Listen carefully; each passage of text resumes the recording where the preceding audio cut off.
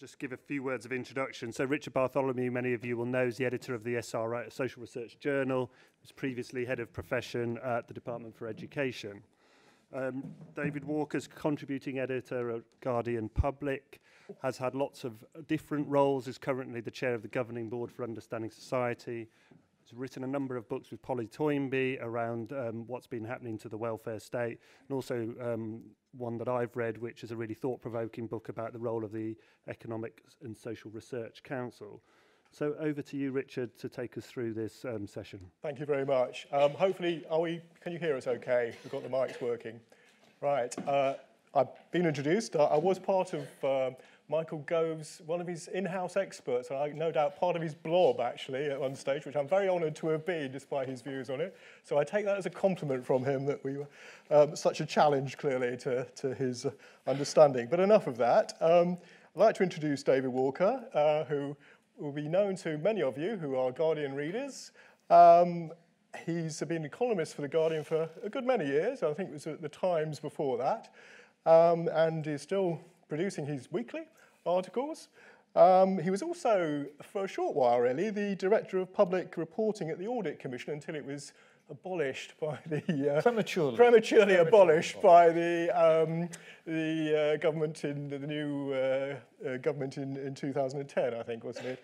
Um, he's also uh, been a member of the ESRC council, but that hasn't stopped him writing quite after he was, I think after he left the council, quite a critical review of the impact or lack of impact really of ESRC and uh, ESRC funded research A bit of an unfair summary, um, over the years, which was um, not uncontentious.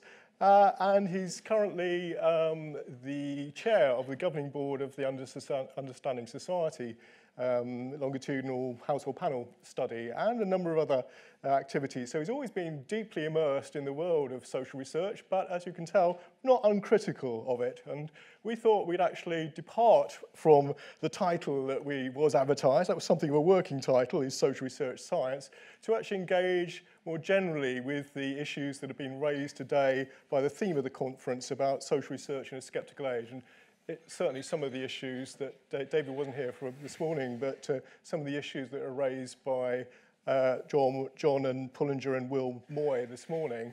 Um, so I was, we're going to do this in sort of Newsnight mode, and I'm, I'm not Jeremy Paxman, so nothing too uh, aggressive in the questioning probably, uh, but I will see. Um, so I think I'm going to prompt a few questions for David to, to give us the benefit of his, his very great experience in this area. And my first question, a fairly obvious one. We've touched on it many times, including in the last presentation.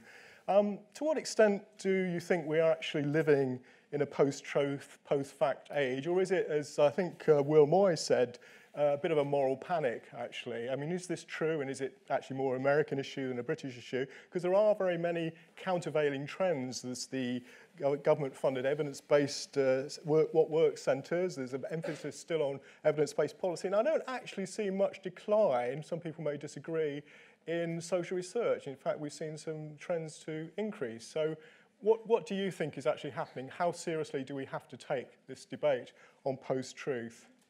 Let's kind of come into an answer to that by, if I may, a piece of very quick and dirty uh, empirical social research, which is to ask you to raise your hand if you are a university graduate. Tim, in his presentation, used the word glancingly tribe.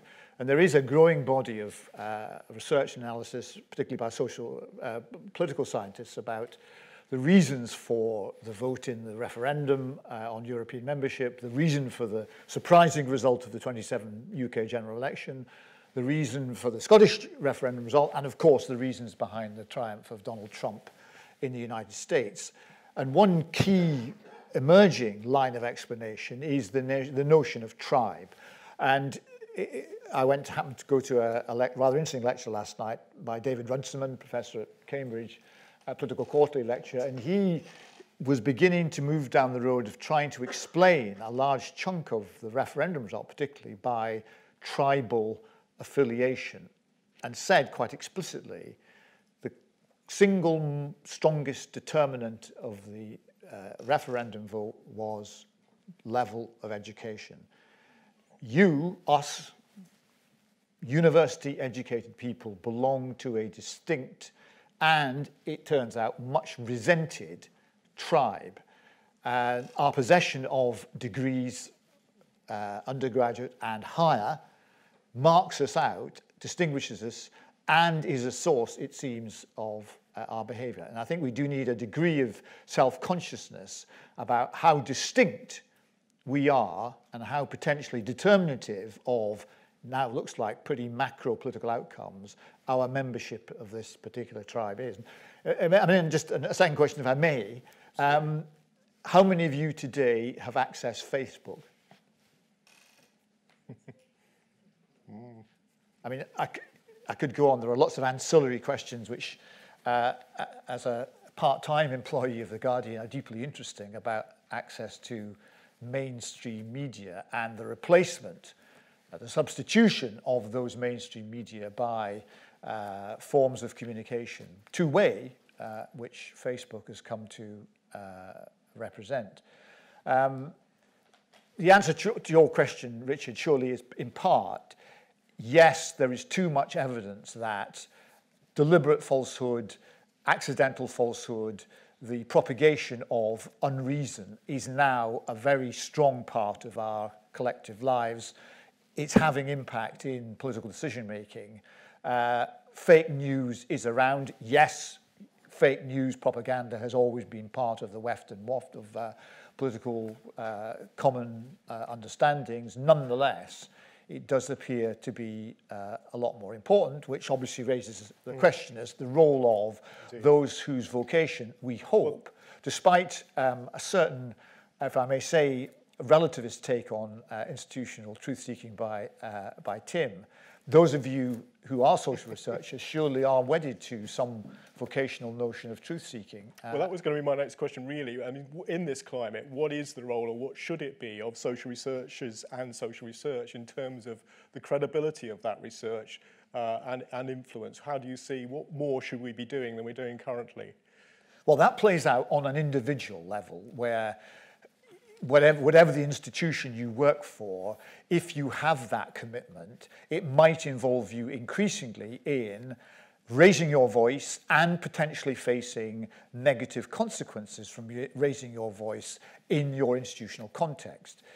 Those of you who may have accessed Facebook uh, before this session might have seen that today's big political story is the appearance before a parliamentary committee of David Davis, uh, where he said in terms, yes, I, he didn't say this, but in terms, I said there were 58 impact studies showing the effect on the UK economy, etc., etc., yeah. of leaving the European Union. Uh, they don't exist. Now, by implication, civil servants advising him, civil servants who might be statisticians, who might be economists, who might be members of the uh, government, uh, government social research have been involved implicitly in what's basically a lie to the public. Mm -hmm. Now, I suppose on an individual level, the difficult question is, can I stop myself being suborned by these uh, institutional lies? Uh, and that's that's a difficult one, which we obviously need to tease out yeah, in we'll terms of individuals. Maybe, yeah. I suppose the collective answer to your question is there must be strengthen, strengthening of those institutions, and here we are in one, British Library, but in another one, the SRA, which have themselves a vocational commitment to truth. Truth as established by peer-reviewed uh, social inquiry, by the application of a body of tried and trusted methods, by the existence of a community of truth seekers. And uh, again, I, I don't want to sort of um, and totally identify Tim as a, a sort of a, a, a relativist, but th uh, there is a sense in which that, that community has, and I use a strong term, a moral obligation. And I know mm. this is something which speakers earlier today sort of maybe sort of began to say, to speak out uh, in favor at least of the methods by which truth But isn't one of the problems that um, social science has is that there are such a variety of methods and some pretty fierce disagreements between proponents of different methods in diff quite different types of, of research and certainly within each discipline. Um, it's very hard for that community to agree and come to a clear view that others will understand about what is quality, what are the standards. It's easier perhaps for statistics, don't know, but in broader areas of qualitative research and more exploratory types of research that a lot of the people perhaps in the audience are involved in, that's quite a hard task and difficult to see how we might ever arrive at that kind of acceptance of what is good quality across, in a way that people not involved in research would actually understand. Yeah, that's, that's, you know, that's a very difficult thing to tease out. But presumably, on a you know, much more superficial level, colleagues here are employed by various institutions to do a social research job because that functionality exists and is valued, has some value to the organization which mm. employs you. So in a sense, organizations have already supplied an answer to that. Yes, there may be a battle royal between quantitative and qualitative, there may be divisions about appropriate methods, uh, etc. But nonetheless, there presumably has to be uh, a fundamental uh, body of function Mm. or else you all would be out of a job and you wouldn't have had a distinguished career as a government social researcher. yeah, indeed. Um, yeah, can I ask you, you touched on the issue, particularly as it affects um, people working in within government. There are quite a few members um, uh, here from uh, government departments and other public bodies. And I know in your recent articles you've been quite, um, I don't know if critical is the right word, but you've raised the issue of the independence of uh, public officials in actually where they see and the Brexit debate has raised this in spades, where they see mistruths being spoken, um, whether, or you advocate certainly that public officials ought to have a stronger role in actually contesting that, perhaps in a more public way, uh, where they see that ministers and others are misusing that evidence.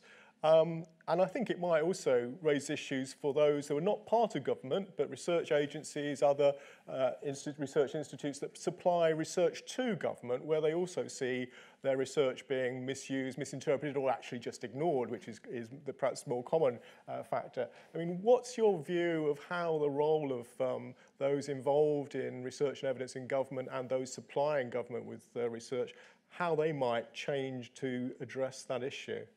Well, let, let me make a crude point.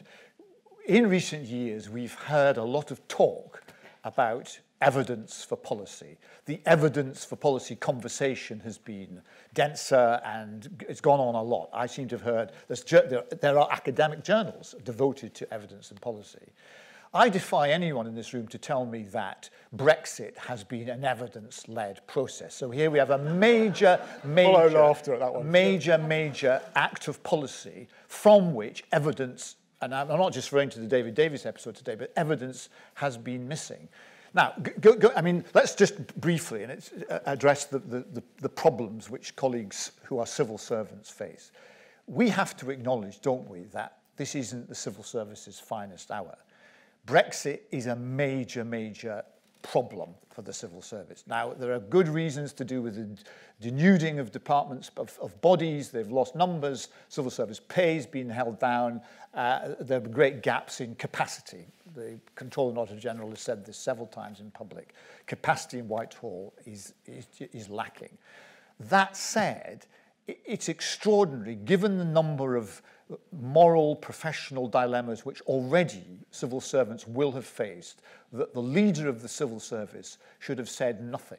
By implication, not even in a neutral speech, said nothing about the difficulties his colleagues are facing, whether they're professionals in terms of the uh, social research function, economists, whatever, or mainstream policy or delivery civil servants.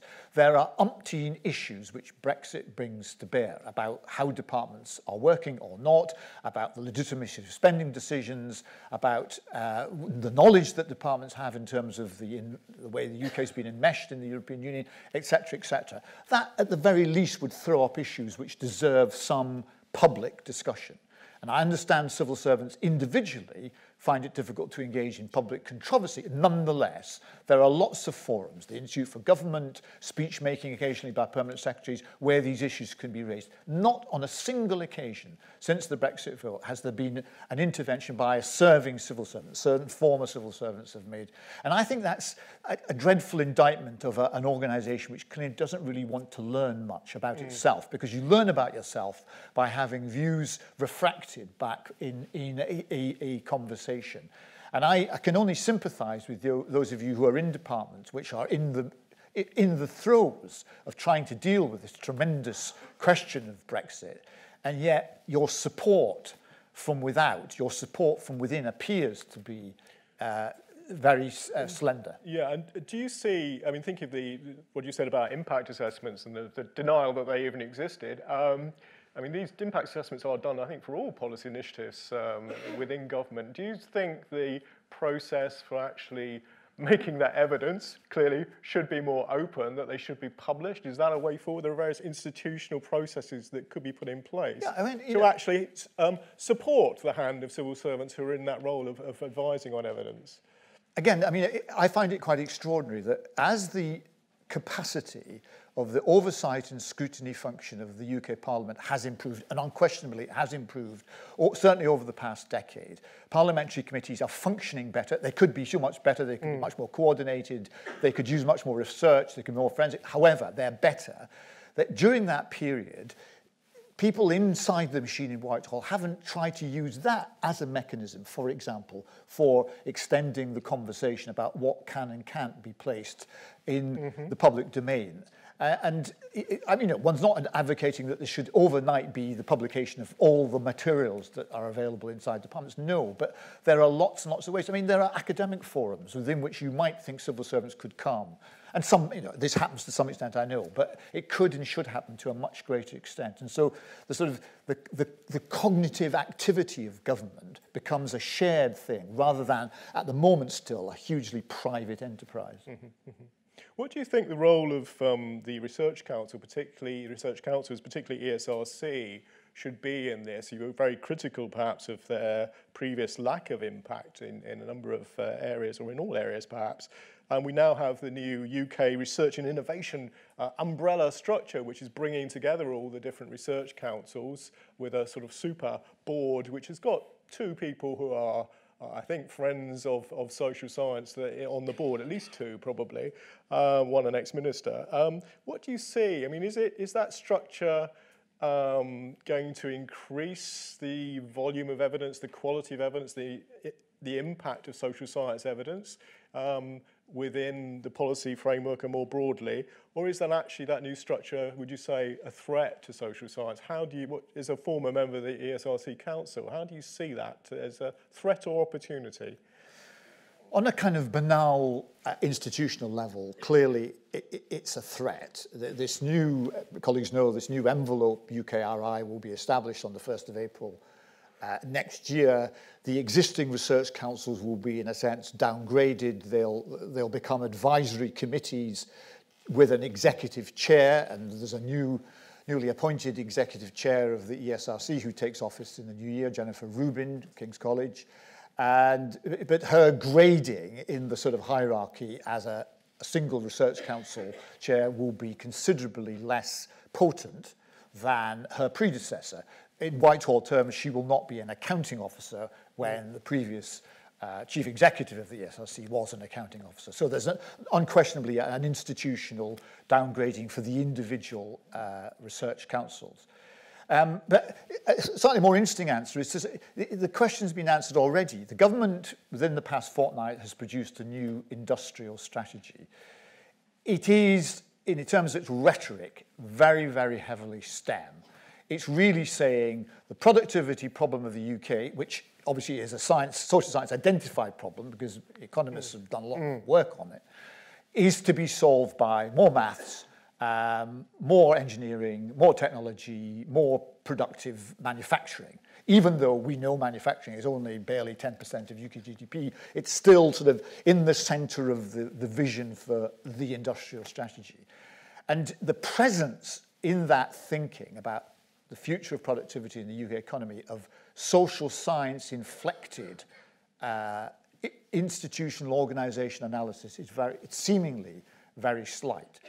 We all know that the UK is a service-based economy. How you secure productivity improvement in service institutions is a difficult question, which some social scientists have devoted some considerable effort to.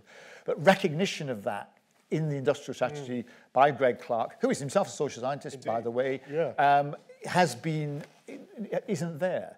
And I, so my, my worry is not that Mark Walport, the chief executive of UKRI, will come in and say, I don't like sociology, I'm going to... He, he's too sophisticated a man for that. In fact, what he will say is, I don't want the aggravation of, of you lot, social scientists, sort of making a big noise, so I'm actually going to soft pedal uh, the social science thing and let it go on for a considerable period as it has. Although we'll come back to this maybe, there yeah. are very big questions pending, not least of which the future of longitudinal studies, which are a high, high cost investment for the ESRC. Mm. But I, I, so I don't think UKRI is going to come in heavy-footed and say we're going to you know, do, do bad things to the social sciences. But in terms of where the action is and UKRI's attention is, industrial strategy, forward movement, UK economy and so on, it's mm. the absence of a social science awareness in that sphere that worries me much okay. more. But what are some of the opportunities? I mean, one of the reasons for linking up the different research councils is particularly in the, what, what is termed the biosocial aspect. Uh, and there have been quite a big, I know you were involved with the, on the board of Biobank, were you? On, uh, ethics and governance. There do seem yeah. to be quite a lot of advantages there in terms of link, making this important linkage between social data and biological data, particularly with the new developments on DNA and genetic analysis. I mean, are there not some opportunities there that this kind of structure will actually facilitate? You hate to use that terrible CP Snow cliche about two cultures, but I, I, just very briefly, I, am on the what's a body called the Ethics and Governance uh, Council of UK Biobank, which is this tremendous resource, 500,000 people have, have donated data and their uh, progress towards death will be recorded uh, as over the next, uh, however long we last, um, few years. Um, uh, You're not the, the, the, guy, the guy who uh, is the principal investigator is a hugely distinguished uh, Oxford University-based uh, scientist. His social science understanding is incredibly small. and he uh, and the chair of UK Biobank don't see that social data, we, we will say quite obviously, I mean, the environment, the household structure, the conditions of employment of people who are being monitored is surely quite important to get a, a picture of the potential impact on their health of you know, their prior circumstances. Mm. It's, you know, it's an interesting longitudinal study but A, social data weren't collected initially, or rather small, only small bits of social data were collected. And the, the, the opportunity to bind in some rather interesting social science data mm. into that biological uh, material uh, is going by the board. Yeah. And I think, I think that's, that, that shows that you know, we are still, I, I don't want to you know, create frictions, but we are still a hugely STEM-dominated science yeah science culture. And so social science still struggles to kind of knock, knock you on the door and say, remember us, remember us. Mm. Instead of us being sort of, you know, recognized to be inside the tent with something interesting to say. Because, yeah. I mean, you know, you all know there is, you know, a huge amount of emerging material about the, the interconnectedness mm. of the uh, mm. biosocial. Mm. Can I change tack again? Going back to slightly some of the issues we raised earlier, really um, focusing on your, your career as a journalist, because I think a lot of people who are, most of us are not journalists, a lot of people in the audience would quite like to know your opinion on how researchers, the producers of research, the disseminators of research, can actually attract the attention of the media in good ways, not just bad. And really to ask you as a journalist, what actually about research grabs your attention and that of your colleagues, those may be different things, um, to actually have impact? Because there's so much emphasis from research funders on impact, but often we struggle a bit to know what works, particularly with the media, though there are other sorts of important impact as well beyond just the media. But what is it about research that grabs your attention and what doesn't? And what can researchers do about that? Well, yeah, I think I've banged on to you about that. I mean, we, we have to be aware that we in Britain have, perhaps unlike other countries in Europe, certainly un, oddly unlike the press in the United States, a hugely politicized press, material that has political charge to it, and a lot of social research necessarily is politically colored, runs up against the fact that a chunk of the press, Telegraph, Mail, Times, etc., etc., etc., are politicized in the sense that they're owned by people who think of them as vehicles for ideology and political attainment as much as to make money. No question about that. So that's, you certainly have to factor that in. Now, of course, there are, we have a more plural media than that. There's the BBC, there's social media, etc., etc. To answer your question bluntly, um, increasingly, it's not just a finding, but it's a finding with a recommendation for action. I've done, forgive me for blowing my own trumpet, I've done a blog, blog today for LSE's Impact blog looking at the demise of the Social Mobility Commission. Uh -huh. Here you had something created by the Labour government, uh, carried on, Nick Clegg says it was down to him into the coalition years. Successive reports, all credit to Alan Milburn and Gillian Shephard and Paul Gregg, uh, who's on the commission. Mm. Successive State of the Nation reports making extensive use of social research data. You know, it's there. If you want citations for REF 2021, go there. But the Social Mobility Commission is dead. Milburn's walked. The government says, oh, we'll, we'll reappoint. But even if they did find someone with any credibility to chair the commission, it, it's over. And Milburn's walked because he says, our findings have been ignored. This government, he said the other day, does not want to know about how you would begin to address now, we can have an argument about their definition of social mobility. They mean deprivation, inequality, and so on. But you know, he's saying there are major social problems in Britain. They're not being addressed by the government. Now, one of the problems with social, particularly social science research is it'll make the finding about inequality particularly longitudinal data, great. You know, you can see, you know, conditions before birth, conditions at birth, yeah. conditions afterwards in childhood. Simple elegance, yeah. Lead to or connected, if not directly causally, then certainly heavily yeah. significantly involved with uh, life chances, life outcomes. What do you do about it? That's the question that'll make the story. If you say, here's the finding, and here is a way in which you can do something about poverty, about inequality, about life chances. And that, that's that missing element. So, I mean, my partner, you'll know, um, Polly Toynbee, she happened to bump into a distinguished social researcher, she was just telling me before I came out, called John Hills. John Hills, the LSE this hmm. morning. Mm. And Polly did a column the other day sort of saying, you know, social research, great, but we need to have recommendations for action. Whether the recommendations are followed is a whole other question, but at least you've got a roadmap.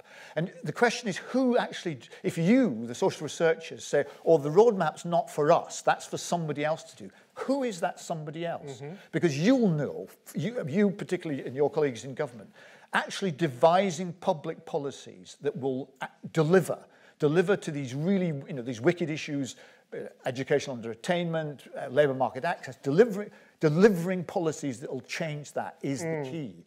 Uh, I think we now need to move to tea. Uh, and so I'd like to thank David very much for his thoughts. Thank you.